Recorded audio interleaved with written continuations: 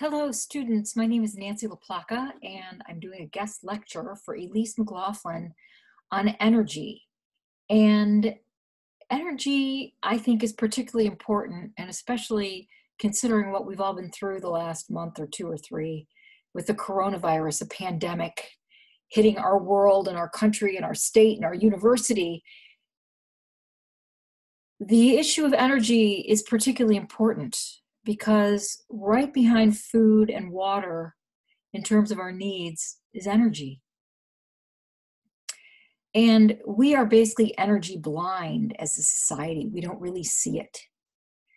And this market crash, as a result of this world pandemic, is really roiling the world of fossil fuels.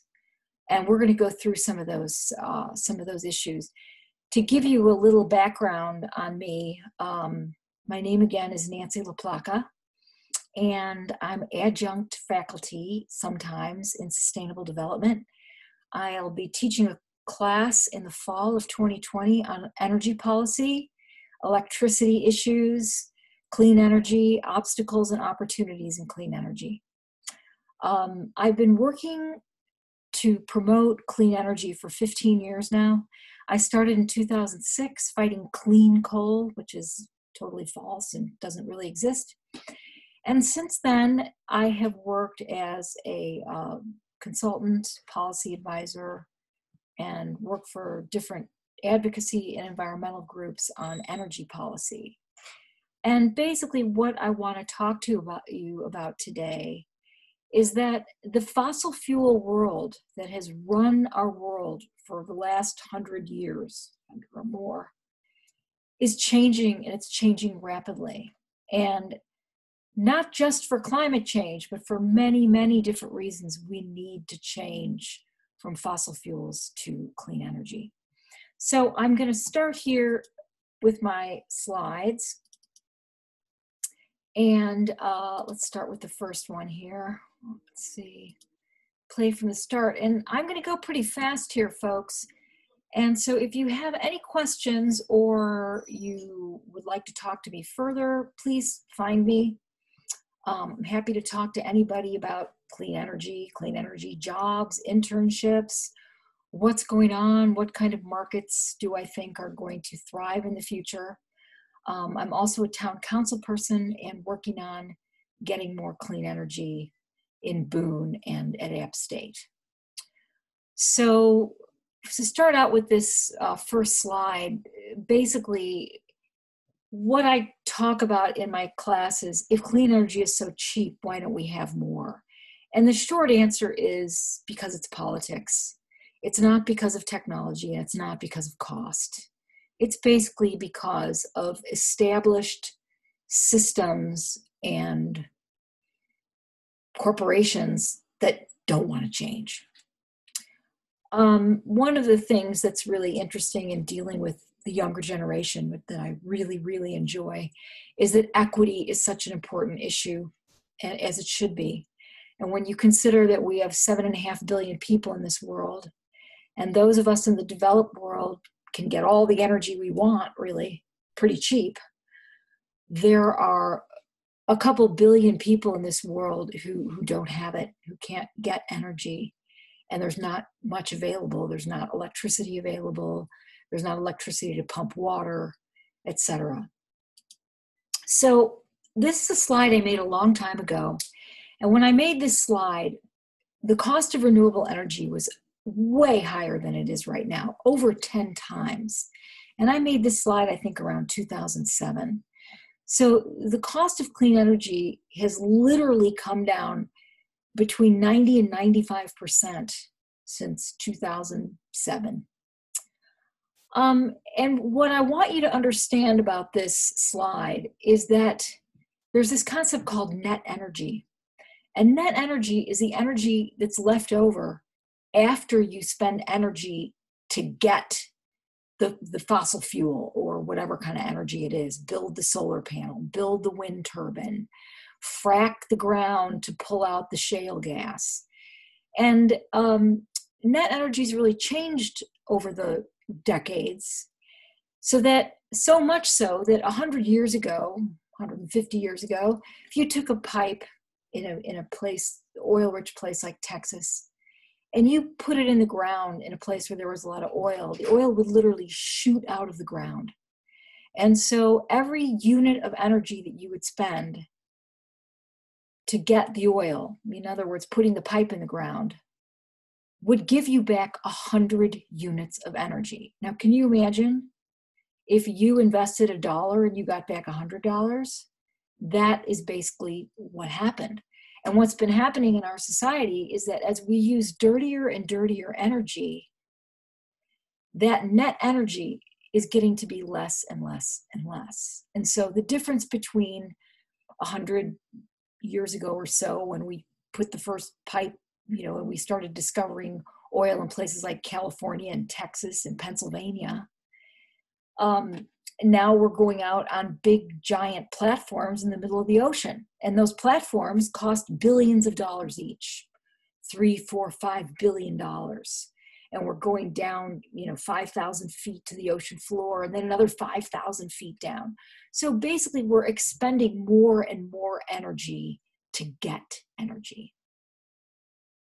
And of course that has environmental costs and when mm-hmm. I was young, everyone ignored it. And freely, it's only fairly recently that as a society, we've recognized that pollution has a real cost. And as we'll go through in these slides, it has a huge cost. So net energy is declining.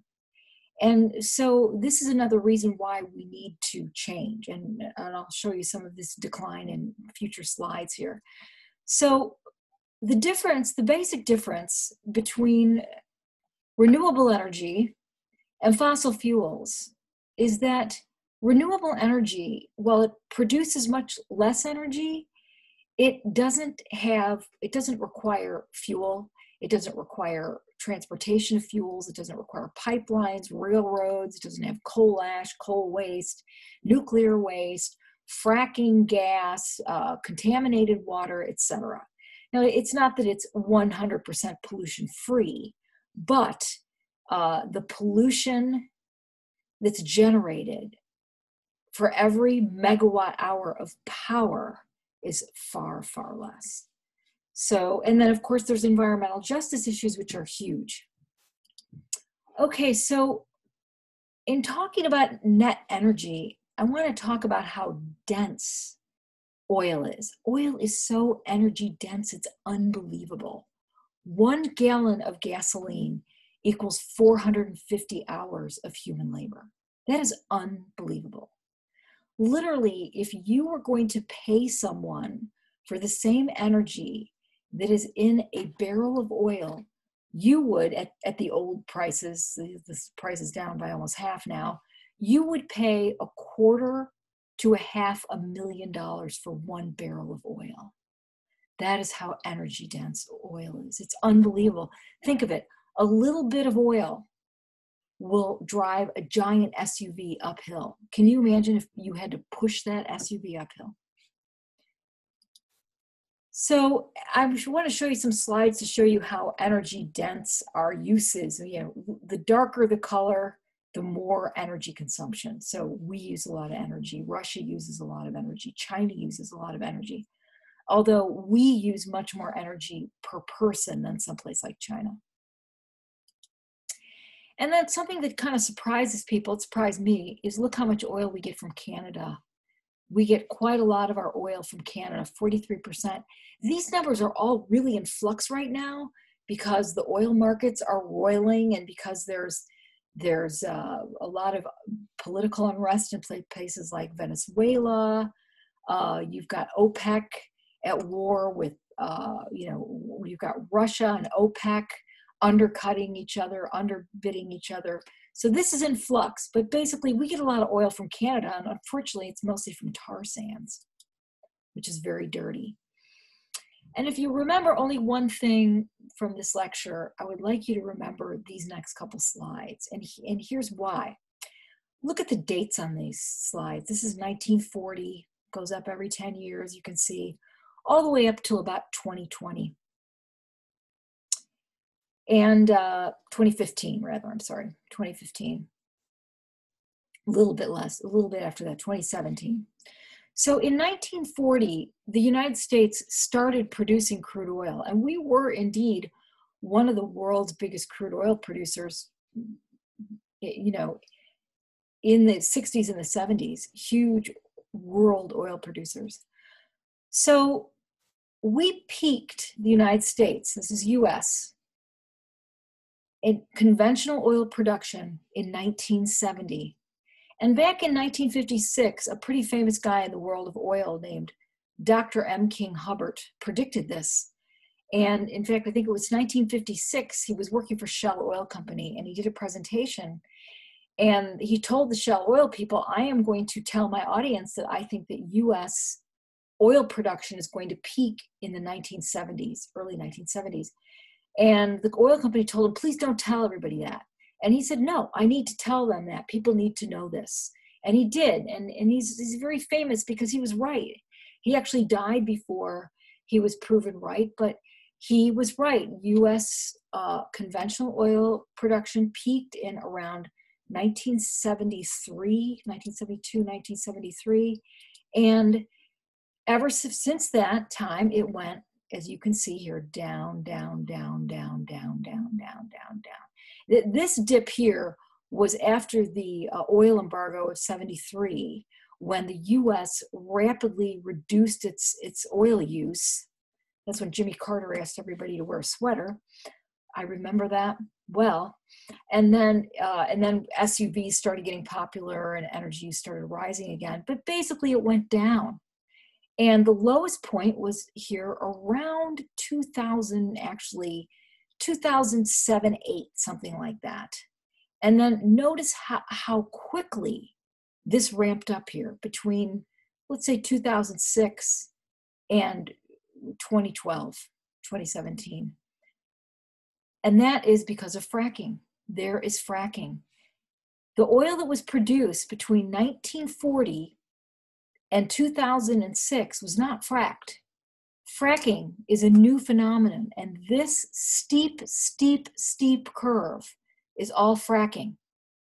And uh, anyway, the reason why this is so important is because what goes up must come down. And because the nature of fracking, the wells are depleted so quickly that this steep, steep curve up, many, many experts are predicting it will be a very steep curve down very steep. So let's go on. And I want to show you that not just natural gas, but also oil are, is fracked. And so basically, fracking accounts for 50% of US oil. And so when we look at this, this, this huge rise right here, that is this light blue color, fracking. It's fracked oil so that instead of drilling straight down, that's what a conventional oil well is, you drill straight down. A fracked well, it actually is very high technology. It, it goes down and then it takes a right turn under the ground and it goes out hundreds and hundreds of feet, many hundreds of feet. And then out of that line, uh, laterals split rock. They frack the rock. In other words, they fracture the rock. That's where the word comes from. And so out of that rock, little tiny, tiny molecules of gas are collected and then they go up the well casing. So fracking is far different than conventional drilling. And now I want to show you how this came down by state because this really shows you what happened. Let's take Texas. Here's Texas. Look at Texas, even back in 1970, biggest oil producer in the country by far. Look, Alaska, for a while, whoop, there's the North Slope. Alaska jumped up, but then the North Slope went down, down, down, down, down, down, down, down. So here's Texas, the, the giant, 1970. Whoops. It goes down, down, down, down, down, down, down, down, down. This is all conventional drilling, just a hole straight down to a, a, a pool of oil or a pool of gas and sucks it up like through a straw. And then look what happened in fracking in Texas around 2006. Boom, it goes up. So this is something else really interesting in the oil industry is that revenues are way, way, way down. Profits are way down. And since this slide was made, there's been a bloodbath since then. So as far as I'm concerned, I am an unabashed clean energy advocate, and I think we need to rapidly reduce fossil fuel use, just like the IPCC is telling us. And so this is really, to be honest, for me, this is great news because the oil industry is not as rich as it used to be. They used to be a significant part of this of the uh, the S and P index, the stock market, and they are no longer because the dollar amounts. Look, between 2011 and 2015, total revenues down by over half. And even more importantly, they're losing money. So this brown line is expenditures. This blue line is cash for operations. What happens when you spend more than you take in? You lose money. Whoops. And so here's just another one that basically says the same thing. Get rid of this as much as I can. Anyway, let's see. Oops. Anyway, you can see that they're losing money. And that's what this next one says too. Just put that right there. So, debt to equity ratio, losing money, basically. And then I just copied this. This was just put out in March of 2020. This is an excellent group called the Institute for Energy Economics and Financial Analysis. And basically, just in one year, the oil and gas companies that are uh, focused on fracking lost over $2 billion. That's in one year. And over a decade, they lost almost 200 billion, 189 billion dollars. So we are talking a significant, significant dollars here. And what's the problem with these companies? Well, they've got high debt and it's only going up. Total long term debt is rising. If they can't produce cash flows over the next years, they can't pay their debts. So if you're a debt and you lose your income or your income goes down by half, you're in even more trouble, as I'm sorry to say, young people know all too well in our Ponzi scheme economy. So um, basically, they have significant net losses and declining cash balances.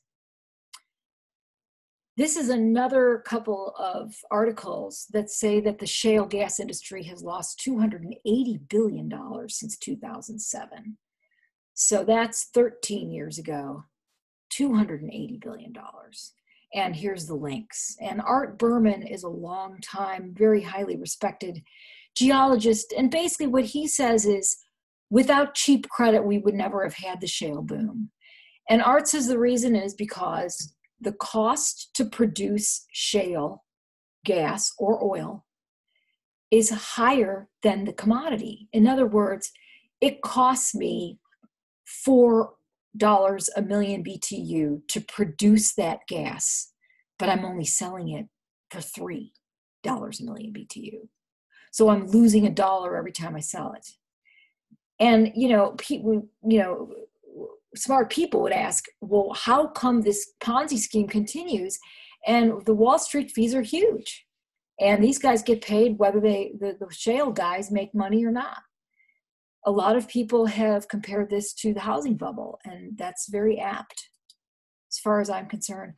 I put a bunch of headlines here of some really interesting stories. This woman, her name's Bethany McLean, and you guys are probably too young to remember the Enron crisis. But Enron was basically an oil services company that was a Ponzi scheme. It was a total Ponzi scheme. At one point, it was one of the highest valued companies in the in the country, in the United States and it was built on nothing. And this woman, Bethany McLean, basically was the first person to dig up this story, or one of the first. And she wrote a new book, and her book is about fracking. And it basically is that fracking is another Ponzi scheme. And this says it all fueled by debt and years of easy credit, America's energy boom is on shaky footing. And this is in 2018, she wrote, wrote this. So this story has been out for quite a while. And then this is from Bloomberg. This is look March 9th, 2020. Shale's new reality. Almost all wells drilled now lose money. And then I took this from that article. Um, that look how look how unprofitable they are. So this is the price that you would need for a 10% profit, and this is the price you would need for a 30% profit. And look at what oils cost right now today. Today, it's like, you know, less than $30 a barrel. So basically, across these giant plays, these are areas of the country. The Permian's in Texas, the Bakken is in North Dakota, the Eagle Ford is in Texas. Uh, they're unprofitable. And then just to show you how crazy this is, um, here is the price of oil since 1983. There's the point where it went up to $147 a barrel. And then it stayed around $100 a barrel for a few years. Excuse me.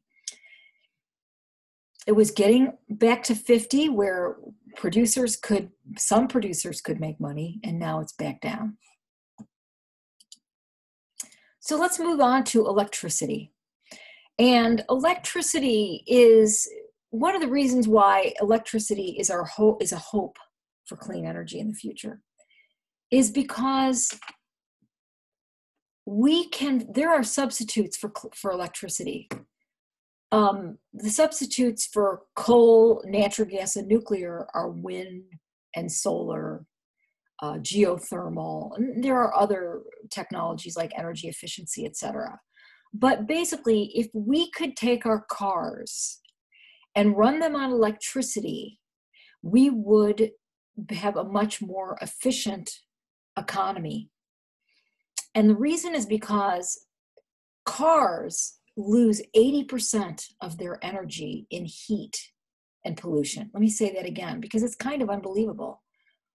an internal combustion engine vehicle running on gasoline or diesel, just an internal combustion engine, loses 80% of its energy as heat and pollution.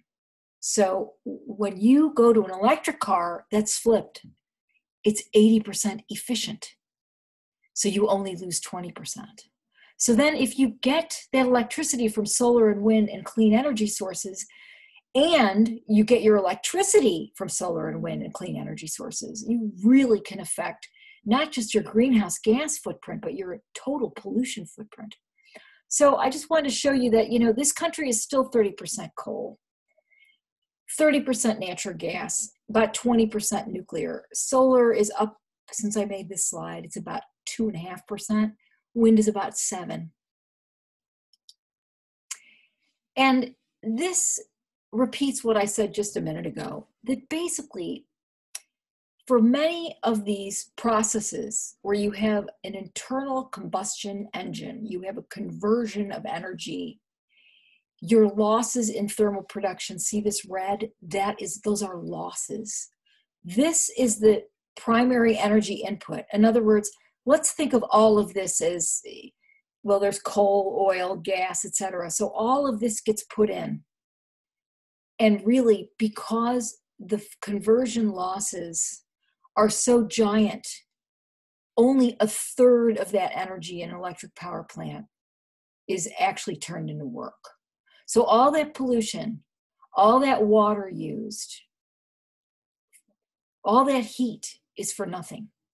So a coal plant, uh, an, an oil plant, a natural gas plant, they lose two thirds of their energy as heat and pollution. I also wanted to show you how much money states spend on on uh, fossil fuels. It's staggering. Let's just, let's take Florida here, eight billion dollars. Florida is like less than two percent solar right now, less than two percent, and yet they're spending eight billion dollars a year importing coal and natural gas. In fact, the coal comes from a barge in South America. Why? Because it's cheaper to float the coal from South America than it is to put the coal on a train and ship it here, ship it to Florida. So it's just sad. And in Florida, in fact, they're building all these pipelines. They're going to bring in fracked gas, either from the north of us in Pennsylvania, or they're going to try to bring it from Texas. So you, you see this unbelievable bias, even in the sunniest places in this country Arizona, Florida, Utah, New Mexico, a bias against clean energy that's just staggering. And then when you look and you see how much money we spend buying fossil fuels, North Carolina, you know, 3 billion a year importing coal and natural gas. That's crazy.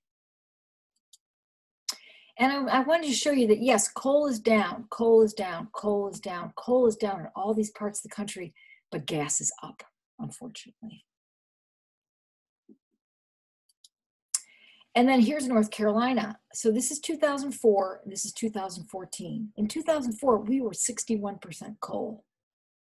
And by 2014, that was down to 39. Now it's down to like 25 to 30, depending. But natural gas was only 2% in 2004. In 2014, it was 23%, and now it's like 30 to 34%. So coal down, gas up. So, what does electricity cost? Why do we have all these fights about it, for heaven's sake? Can't you just tell me this is what it costs? And it's complicated. It, it's, it takes a lot of work to understand the electricity system because it is complicated and it's not something that people have thought about for a while. In fact, what I found in my experience is that people from other countries, especially from the continent of Africa, because there is so little electricity in the whole country. They get it, they understand it, they know where every power plant is, they know what's going on. They're also highly exploited. The, the continent of Africa, for its oil and gas, quite highly exploited. So, this is just a couple of things. These are the kinds of things that we get into in my class. If you're interested in knowing what does it cost and how do we figure it out? And many costs are not counted. Pollution isn't counted, waste isn't counted, uh, waste removal, labor, uh, carbon. Uh, we don't count the value of solar, that solar doesn't generate any pollution, and that there's no fuel risk, and that it delivers electricity when we need it the most, many times, at least in the hot summers. So what about subsidies? There's this big meme out there that renewables are getting lots of subsidies, and that is simply not true.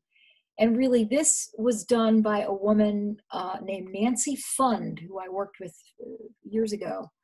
And she is a hedge fund gal who got into clean energy in a big way.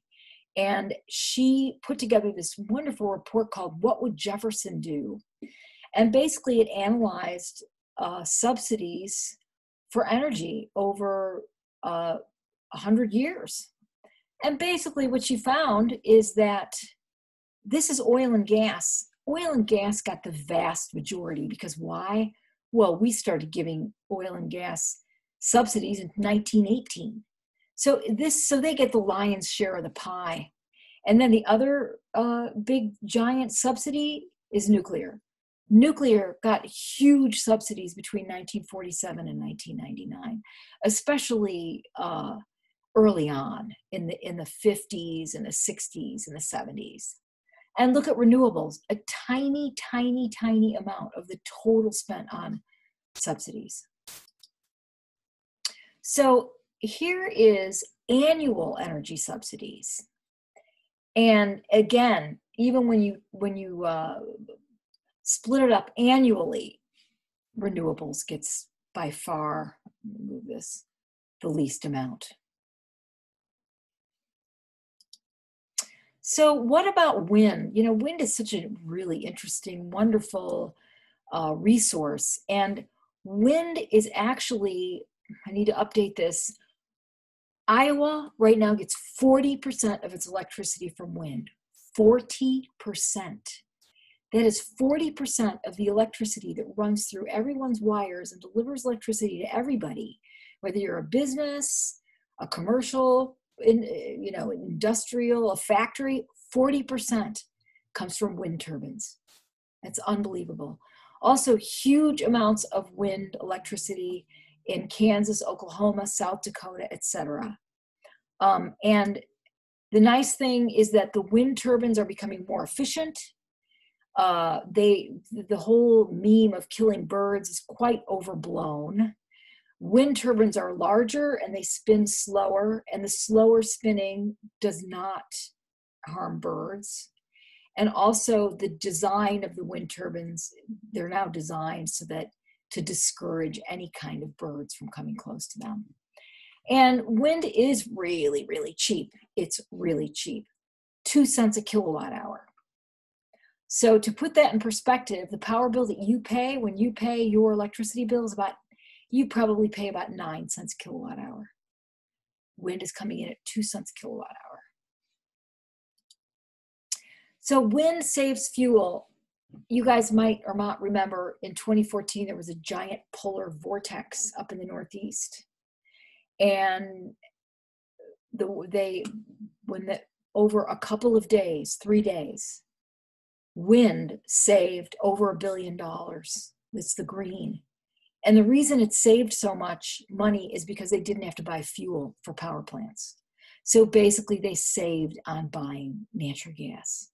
And so, what we're going to find is that as we move from fossil fuels to renewables, it isn't going to be close to when they say it's going to cost more. No, it's it's not. Eh, most people say it's going to cost about the same. You're going to put money into the new renewable infrastructure, but you're going to save so much money on fuel, not buying fuel. You won't have to buy natural gas. You won't have to buy coal. You won't have to buy oil. That it's going to actually be cheaper. And then when you start counting the staggering, unbelievable costs and damages to our health and the environment, there's no there's no contest at all. Fossil fuels are many, many, many, many, many times more expensive like 10 times. Okay, so I'm going to go in some depth here in fracking.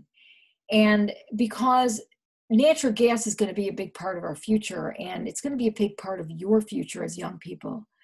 And here is the cost of natural gas. So, you know, I remember in the 80s and the 90s, you didn't even really hear about natural gas. It just it cost two dollars a million BTU, which which think of it as a gallon, two bucks. It cost two bucks. It cost two bucks. Then starting around 2000, the price started getting very volatile. And this is Hurricane Katrina. And basically, as every time we have some kind of a weather, you know, a giant storm or hurricane, natural gas costs can go up. Now they've gone way down lately because we have too much produced but it's very volatile.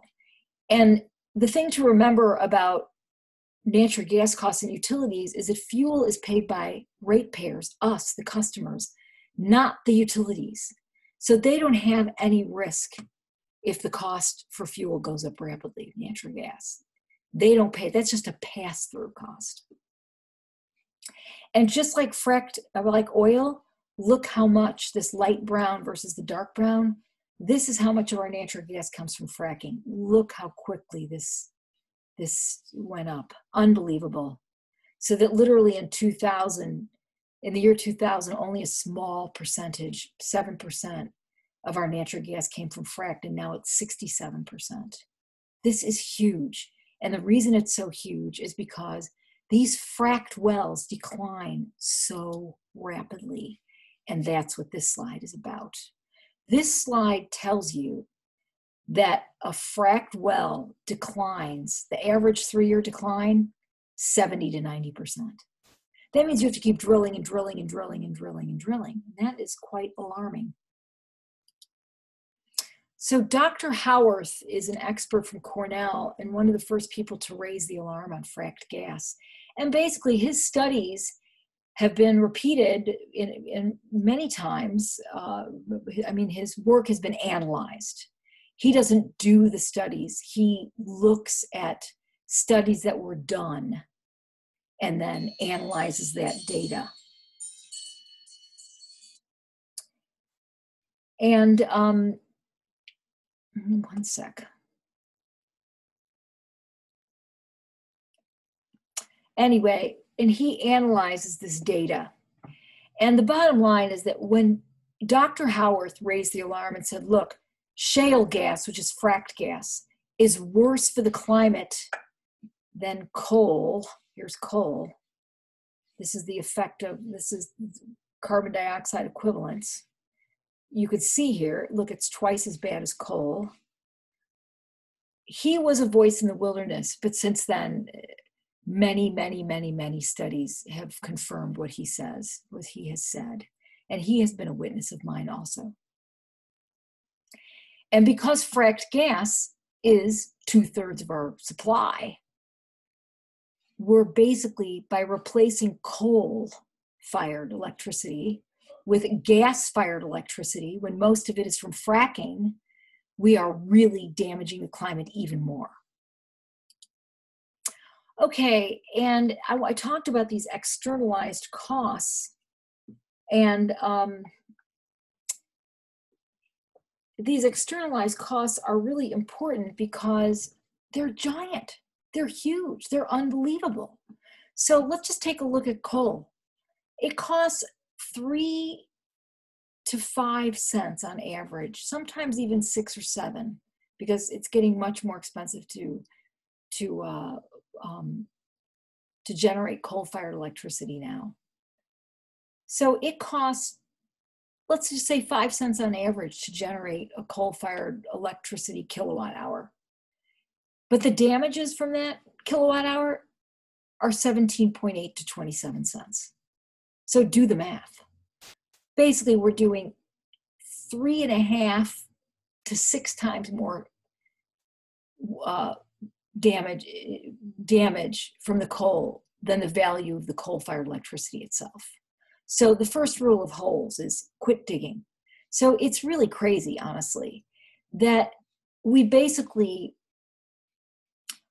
spend $40 billion a year, this country, raw on raw coal costs. In other words, every utility across this country, if you added up how much money they're spending purchasing coal to to make electricity, it'd be 30 to 40 billion dollars.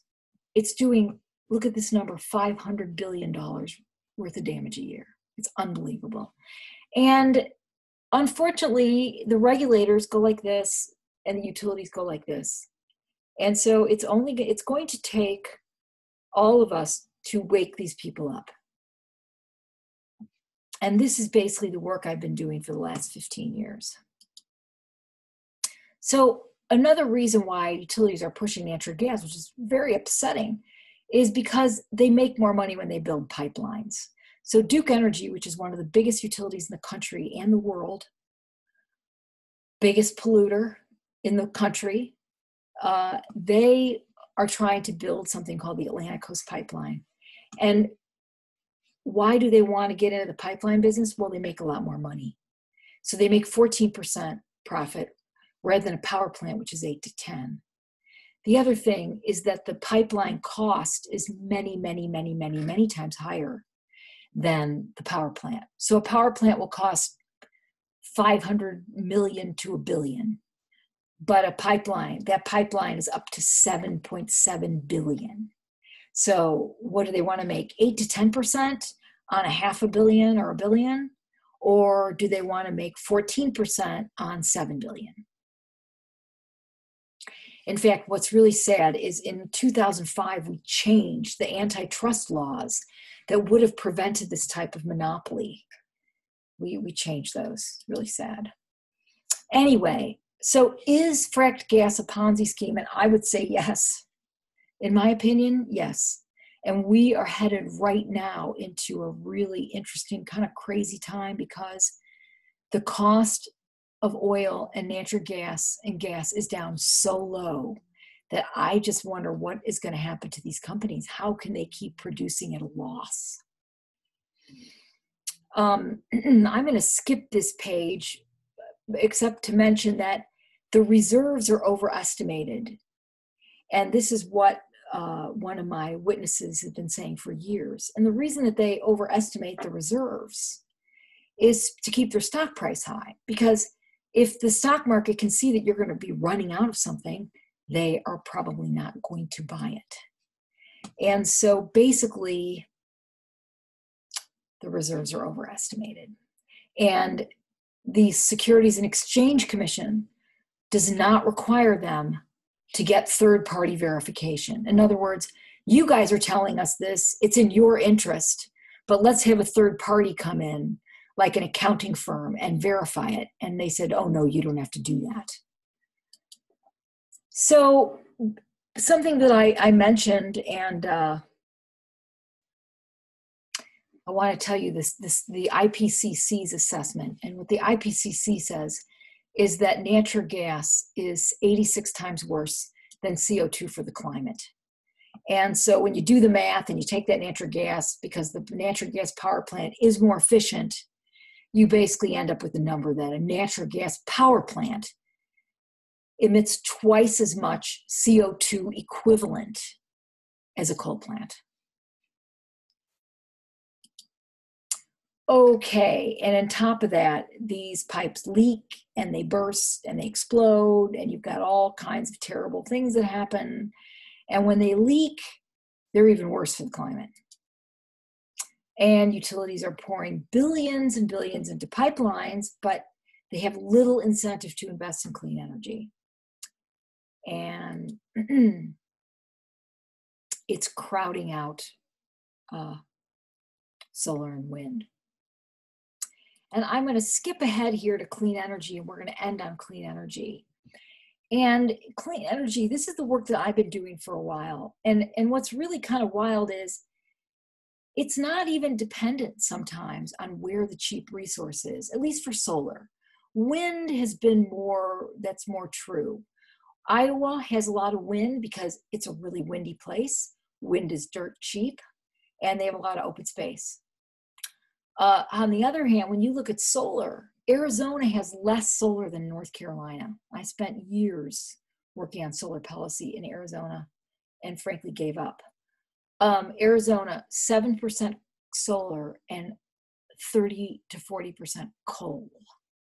And the utilities run 50 year old coal plants on groundwater. So it's really crazy. Um, and the problem is that we don't have a system that is sensibly looks at okay what's our natural assets are we sunny are we windy do we have good co- do good do we have good wind on the coast or on the top of a mountain or is our solar good in this part of the state but bad in that part of the state eh, the policy is is not unfortunately not based on common sense things that you would think and because we only have 250 regulators that's public utility regulators. That's who I used to work for. Because we we only have 250, and the whole system is so manipulated, and it's complex that these guys basically get away with this. And um, participation in power plant permits, you know, 15 years ago when I started, there were a handful of us. Now there's many, many more people. But basically, these are complex, time consuming, difficult, uh, head banging proceedings. And the utilities don't want anyone to participate. And the utilities do their best to keep it a black box. They don't want you to see it. So I want to point something else out too that really struck me when I started this work. Um, that fuel costs are 20 to 35% of your total bill. If you could take your bill and analyze it, they don't make it easy. If you could look at the fuel costs, just the raw fuel, it's a huge part of your bill, 20 to 35%. And yet, if we look around the country and we see how much has clean energy cost us on the average customer bill, it's 1.6 uh, 1.6%. So 1.6% versus 20 to 35%. Pretty crazy here's the cost of solar 1977 when the nerds were working on it in 19 let's see let's move this and th- this doesn't even go to today well 2013 basically the cost of solar is just down unbelievably jobs. Here's the other thing, kids, and this is why we need people to advocate.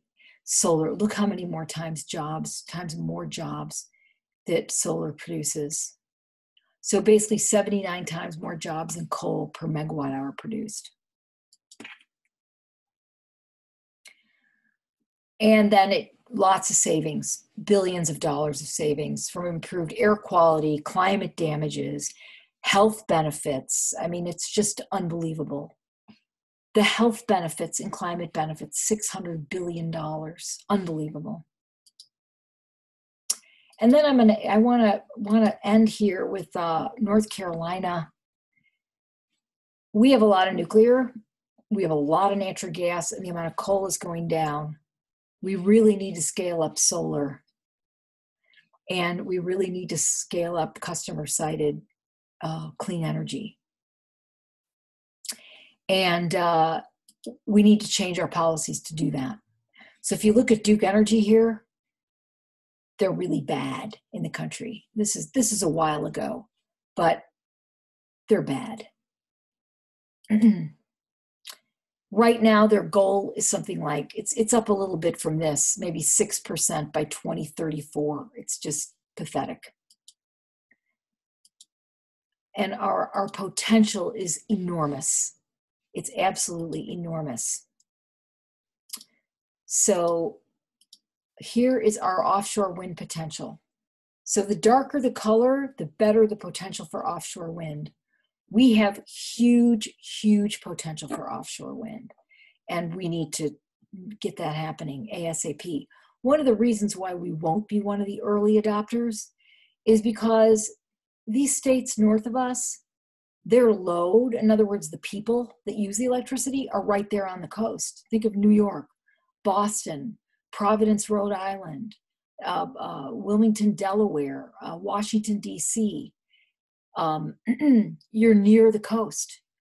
Us, all of our population centers are further inland. And so that means you have to get the electricity to those big cities, get the electricity to Charlotte, to Durham, to Raleigh, to Greensboro. Um, but, but we have enormous, enormous potential. Clean energy is cheaper and far less risky. And basically, we need to push back against utilities because they have a financial interest in promoting natural gas and undermining clean energy, unfortunately. we have one of the best success stories in the country $12 billion. Actually, since I made this slide, it's up to $14 billion, $14, $15 billion. 88% of that is um, solar. And so don't let anybody tell you that this isn't a worthwhile investment. In North Carolina, taxpayers spent 322 million on tax rebates, but that 322 million was returned in state and local taxes and additional money. So that 322 million in tax rebates turned into 520 million in state and local taxes. And that 322 million in tax rebates resulted in 12 billion dollars in economic activity. 12 billion. So this is a worthwhile investment.